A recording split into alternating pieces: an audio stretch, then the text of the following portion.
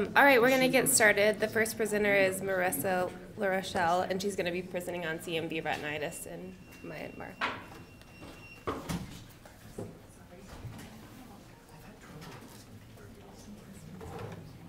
Good morning. I'll be talking about my recent trip to Myanmar that I went on with Dr. Vitale to work with HIV patients with CMV retinitis. So where in the world is Myanmar? It's a country in Southeast Asia, also known as Burma, that borders Thailand to the south. Um, this is just a reminder that although there's different ocular pathology we can see in HIV, such as HIV retinopathy, progressive outer retinal necrosis, that CMV retinitis is really the leading cause of irreversible blindness in patients with AIDS. And if caught early, these patients can do quite well. The small photo is a picture taken of active CMV retinitis with a little blood and retinal whitening. And then the larger photo is 15 years later of the same patient with just a little bit of RPE granularity in that area, but a 20/20 eye. In contrast to a patient that was diagnosed too late and had 360 circumferential full thickness retinal necrosis, and despite eventual ganciclovir implant, barrier laser, silicone oil, scleral buckle, patient still lost all vision. So what's the situation with AIDS in Myanmar?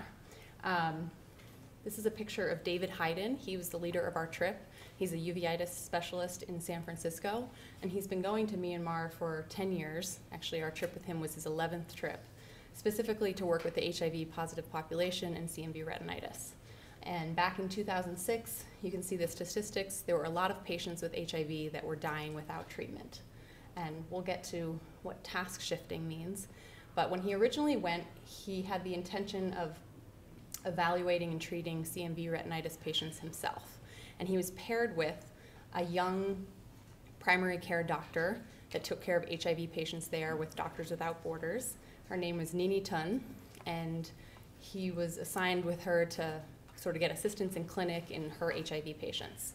Um, well, the first night he was there, she took home his equipment, and it was a indirect ophthalmoscope, a 28 diopter lens, and some dilating drops. And she came back the next day, next day and said, David, I can do it. I can see the retina. And she had um, dilated her sister and practiced looking and literally learned to see the retina the first day.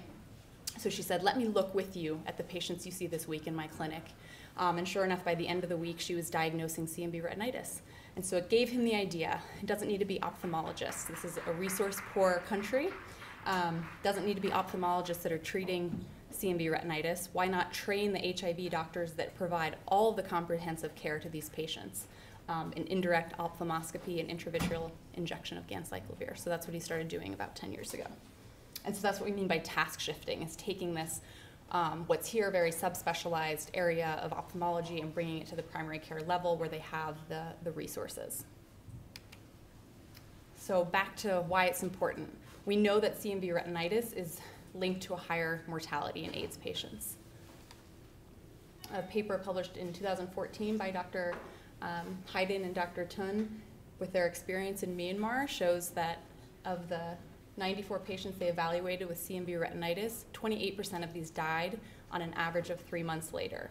An additional 17% were lost to follow-up, most likely because they died. So this number is actually a low estimate of the mortality associated with CMV retinitis. And these patients aren't dying because they have an infection in their eye.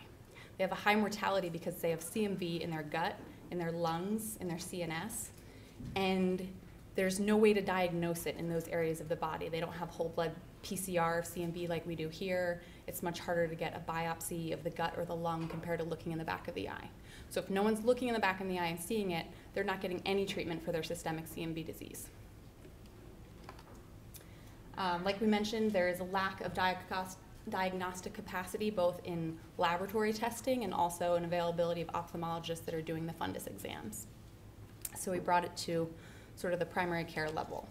And with the idea of training the AIDS clinicians, which there are really primary care physicians straight out of medical residency that just take care of a very high volume of HIV patients and become very good at HIV medicine.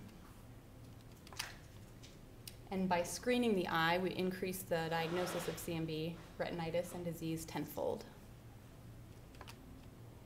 And so Dr. Heiden published in 2014 his successful results of training these HIV doctors in the last several years. And in real life experience, this is a doctor that was trained in 2008 in one of his workshops. And then one year later, he had done 1,000 exams, 500 intraocular injections of ganciclovir, and was treating between two and five cases of CMV retinitis per week. And CMV retinitis has been sort of ignored in the public health spectrum globally for several reasons.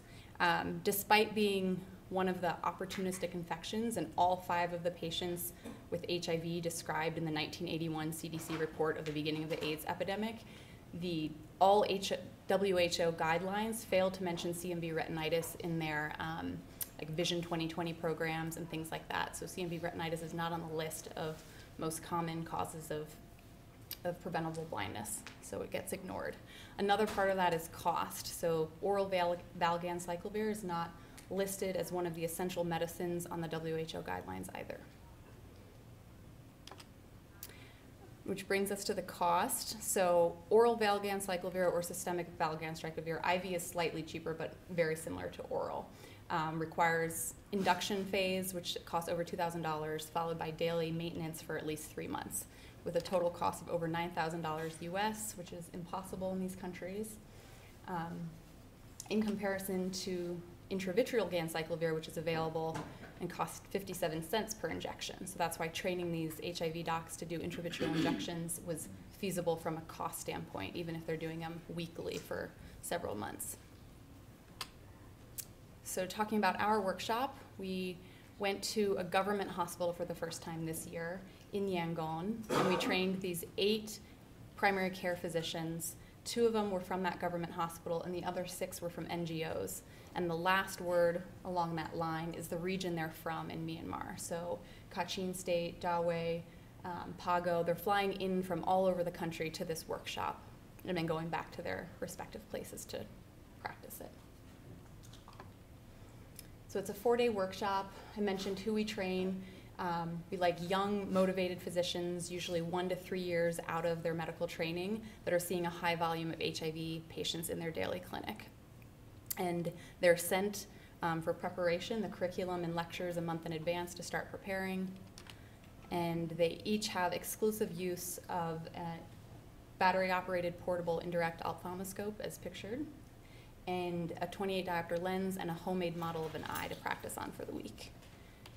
In the mornings, we do lectures starting with just basic anatomy, um, basics on indirect, how to use the model eye, and then progressing as the week goes on into lectures on CMV retinitis and other AIDS-related retinal diagnoses.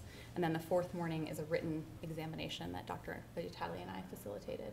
And then each afternoon is where the magic happens. So um, we have about five to 10 patients with HIV, either with known CMV retinitis or very high risk for CMV retinitis. And we train these doctors bedside, um, ideally one-on-one, but there's more of them than us, so we sort of rotate through the beds um, training them how to look at the eye, and then doing drawings and comparing notes. And then I said plus or minus training on intravitreal injection technique, and I'll go a little bit into that later. So this is a picture of learning indirect ophthalmoscopy and lining up the light with your thumb. And this is the model eye that Dr. Heiden actually creates. There's a YouTube video on how to make this, and there's um, a little cutout of newspaper in the back of it with words so you can see how everything's flipped upside down and reversed. And this is when they were training on intravitreal injections, holding the Q-tip at the angle that the needle should be before they do it with an actual needle. So this is the patients, summary of the patients we saw when we were there in the training part of the workshop. We saw 32 patients and 15 of them had CMV retinitis. Four of them were active and eight out of the 32 patients also had tubercul tuberculosis of the choroid, most of them asymptomatic. Um, and then a sort of a smatter of HIV retinopathy, toxo, and interestingly, three patients with cryptococcal meningitis. There's Dr. Vitale and I, and some of our students, and a patient. And at the end of the course, this is a, a table of the responses from the, the trainees. We ask them how confident they are at the end of the course in identifying structures of the eye, and most say moderately confident to highly confident as far as identifying these parts of the eye after only four days. And how confident are they in diagnosing the retinal diseases of active CMV, inactive CMV, um, cotton wool spots, and tuberculosis? And you can see the great majority are moderately confident to highly confident in these skills. And I think this is the most important question we ask is are they ready to start putting this into practice at the end of the week? Would they go on to their own clinic and start evaluating patients? And all eight said yes. So this brings us back to the intravitreal injections. So oral valganciclovir is very expensive. And in 2013, the makers of this medicine um, teamed up with Medicines Patent Pool to reduce the cost by 90% to help prevent blindness in HIV positive patients. Um, and they made this reduced cost available for 138 countries, including Myanmar. So now the systemic treatment was available, but like we mentioned, there's no diagnostic capacity of, of when do these patients need CMV treatment if no one's looking in the back of the eye. So the Monday that we were there in that workshop was the first day that the government hospital in Myanmar was ever used oral valganciclovir on a patient because we were there and we looked in the eye and we said this patient needs it and so despite having access to it for several years it was the first time they had the diagnostic capacity to put put it into action so that was actually really exciting so we didn't train the doctors this year in intravitreal injection partly because oral valganciclovir was available and partly because we were at a government hospital and there's some political stuff going on about um, whether the government says it's okay that a non-ophthalmologist is doing intravitreal injections. So we didn't want to anger anyone in the hospital management, and so we didn't train them this year. This is a picture I actually pulled off of Facebook of the, some of the trainees at the end of their workshop. They were very proud of their certificates we gave them. They were like, hashtag, I can see the retina. So they were excited.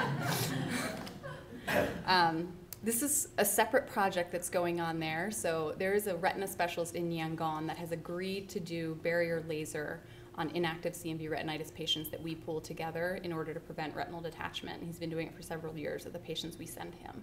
So when we were there, we evaluated 13 of these patients that had had barrier laser.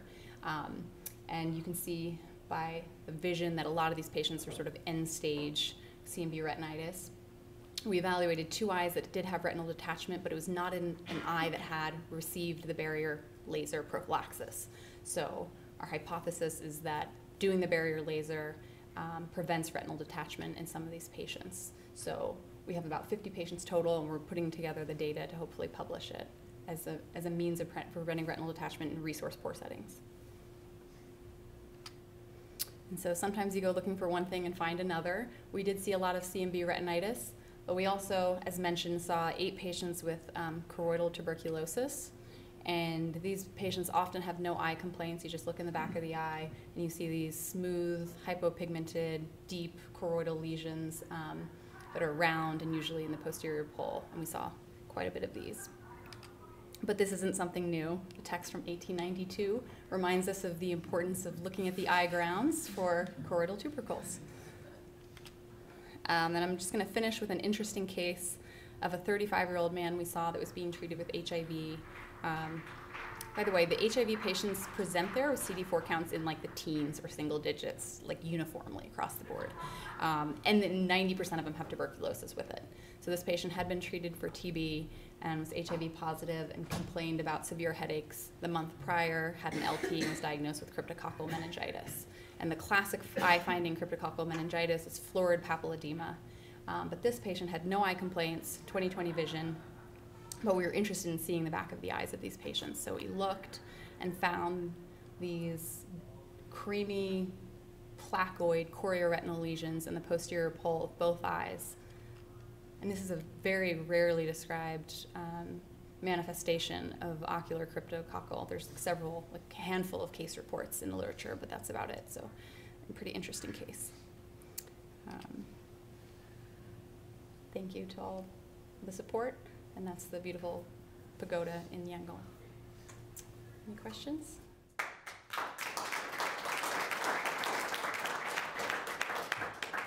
So Marissa, a fabulous presentation, and you bring, you bring up the big issue that's so often common in these situations, and that is that the perfect is the enemy to the good. And that often. That-? The perfect is the enemy to the good, and often countries, for political reasons, would hold off on a solution that, that maybe is 90, 95% effective because they, they want the perfect. Or, or, or in particular, the politics of those that have trained saying, no, no, no, I have to do it even though there is not a chance that they can take care of the burden. And so it's a, it's a, it's a common problem that goes along, but, but very innovative. One question for you uh, is that uh, if you treat just with intraocular, obviously, one of the issues you raised is, is that when you diagnose this, an HIV that is likely a systemic disease, and obviously if you do just an intraocular treatment, you- you're not going to be treating a systemic component. So it, it would seem to me that uh, uh, that would be the problem if we were just doing intraocular injections. Am I missing something? No, that's exactly right. It's, um, does not prevent spread, spread or involvement of the fellow eye when you're treating intravitreal with just one eye, and you're not treating the systemic disease that's related to the high mortality. So it's in an unperfect solution, and that's a little bit of the ethical dilemma with it. Um, but it's better than nothing. So you're Again, still saving again, vision that's right. I mean, you're going to maintain vision, and, and I'm glad they brought, but I bet you a burden, even at, at, at ninety percent discount, that's still a thousand bucks for a lot of these developing worlds, that's still a major burden. So, uh, uh, many of you may not know for sure, but, uh, we're really excited, and Marissa's joining the faculty here as of July, and uh, she's going to be a tremendous addition, and we really appreciate her uh, incredible work, and thank you very much for this great effort here in Myanmar. Very good. How do the trainees get indirect on themselves? Do you supply them or is the government? So they're each from individual NGOs that were listed there, and now it's been you know 10 years of doing this. Their NGOs are providing them for each individual doctor. From the beginning, David Heiden brought one and donated it. He, he bought it himself, and then Seva Foundation was sort of the um, overlying charity from San Francisco that was covering things that weren't covered from other NGOs locally. So they uh, uh, sort of provided some of the indirects as well.